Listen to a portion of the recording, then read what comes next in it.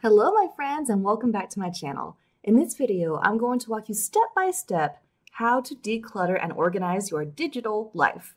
We spend so much time on a daily basis connected to the digital world, whether that's for work, keeping up with social media, or just relaxing and unwinding at the end of the day. A quick Google search suggests that the average person spends just around seven hours per day looking at screens. So it's no wonder that our digital space can become cluttered and overwhelming, increasing our stress levels and decreasing productivity and enjoyment. So here's my simple 10 step guide to decluttering your digital life so that you can enjoy your digital space with intention, efficiency, and positivity. The first thing we're going to talk about is the browser on your computer. Let's start there with a quick win. If you're the type of person who keeps tons of tabs open, go ahead and close the ones that you don't need and try to get in the habit of closing tabs as you go so you don't get visually overwhelmed the next time you take a look at your browser. Next, take a look at your bookmarked or favorites in the toolbar. This is a great way to keep your frequently used web pages close at hand, and it's super helpful with efficiency, but only if everything on there is clearly labeled and relevant to you. So let's go ahead and delete any of those bookmarks that are no longer serving us, and make sure we can easily recognize them for what they are. For step number two, let's look at your files and folders. This one works best if you take some time to initially create an effective system and then just work on maintaining that system. Think about how you want to organize your files and create a structured system for organizing everything. For me, for example, I have a personal file that uh, I keep folders within for things like healthcare, finances, and Toastmasters, which is a public speaking club I'm involved with. If we click here on finances, I have a separate folder called taxes, and then a separate folder within that for each tax year, where I keep everything related to my taxes for each year. This way, if I ever need to reference something down the road, it's super easy to find. I don't trust that I'll remember where I stored a random document from three years ago, so I try to make everything as logical and easy to find as possible. Next up, emails. We'll start with a quick win. Go to your deleted and junk folders and unsubscribe from any marketing emails that you no longer wish to receive. Take 20 seconds to do this now, and it will save you the tiny stress of deleting the same marketing emails from the same brands every single morning. Next, similar to how we organize our files and folders, is to organize your email folders so that everything can be easily sorted as you process your emails. If you're an Inbox Zero fan like me, go ahead and do that. There are tons of resources out there about how to organize your email inbox, but I'm just going to share one tip that was an absolute game changer for me. I created a folder in my email box called Completed Projects, which lives at the bottom of my folders. I'm extremely liberal about giving each project its own email folder. I have a separate folder for every trip I take, every short term work project that I work on with other people, and this is where I store all the related emails for that specific project.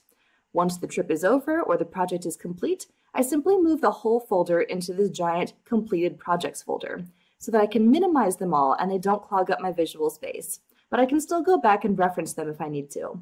Once something really is no longer relevant, though, I'll go ahead and delete it. But it's amazing the number of times this has come in handy. For step number four, we're going to change gears and look at your phone. Review all of your apps and delete the ones you no longer use. I like to sort my home screen into folders to help sort all my apps as well. I have one for finances, social media, my smart home, business, and entertainment. Using folders to organize your apps helps reduce visual overwhelm and just helps keep everything nice and tidy. Next, and here's a big one that can potentially save you lots of money, take a look at your subscriptions and look at exactly how many apps you've been quietly paying $5 a month for and unsubscribe from the ones that are no longer needed. I did this recently and I was literally so surprised by how many things I was still paying for but wasn't even using anymore. I think the first time I did it, it freed up like $50 a month in unneeded subscription fees, which is insane. While we're looking at our phones, let's move on to step five, which is to clean up your social media. Take a look at all your social media accounts and delete any that you no longer use. Review your privacy settings and your passwords, and unfollow any people or groups that are no longer relevant to you. Make sure your profile information is up to date and your pictures are the ones you still like, and enjoy the benefits of your social media reset. Step number six is to declutter your digital media. This can make a huge difference in the amount of free space on your devices, which can improve the performance of everything. Go through your downloaded music, books, and videos, and delete anything that doesn't need to be there. You can always re-download it later if you need. Look through your pictures and delete the duplicates of bad photos. I'm the kind of person who will take three pictures of a cool tree so I can pick the right one, but then I still have three pictures of the same tree taking up space on my phone. So go ahead and clean that up and verify that all your pictures are being backed up to the cloud so you don't risk losing anything. Speaking of the cloud, step number seven is to declutter your cloud storage. Make sure that you still have enough space for everything you need to store and purchase more space if needed. Make sure all of your important things, like your favorite pictures, projects, and files, are backed up in the cloud, and delete any unnecessary backups or things that are no longer relevant to free up your storage space for things you actually need. And just like some of the previous steps, make sure that your cloud space is neatly organized so you can actually find things in it. Moving right along to number eight is to review and update all your passwords. I don't personally use a password manager, but lots of people find this is a very helpful tool for keeping track of their passwords and updating everything with proper complexity. Regardless of the system you're using, whether it's a password manager or a sticky note, it's a good idea to update your passwords regularly. Don't use the same passwords for everything, and just in general, to practice good password safety with regular maintenance. Step number nine is to review your inboxes. By this, I mean, where are the places where you're collecting stuff? For most of us, we collect stuff in our email inbox, voicemail, maybe the notes app on our phones, in a notebook, and maybe even notes scribbled on sticky notes and thrown into our bags. No judgment here, I do it too. But take some time to empty all of your virtual and physical inboxes and have a plan to process everything. If you find that you're collecting stuff in too many different places, consider consolidating so that you're able to trust that you have a safe place to collect input that you will regularly check. And finally, step number 10 is to physically declutter your digital life.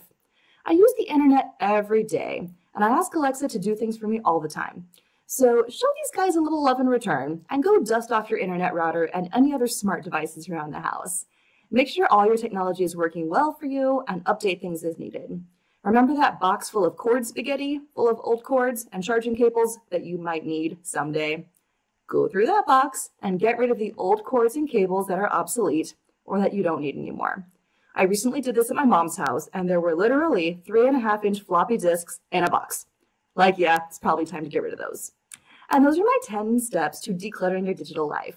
I hope you found this helpful and at least creating a plan for how to tackle your digital decluttering.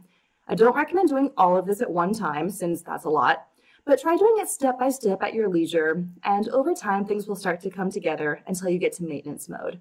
If you enjoyed this video, you might also enjoy the video I made about how to organize your phone to optimize your productivity. So definitely check that one out if you're interested. Thank you so much for watching, and I'll see you in the next video.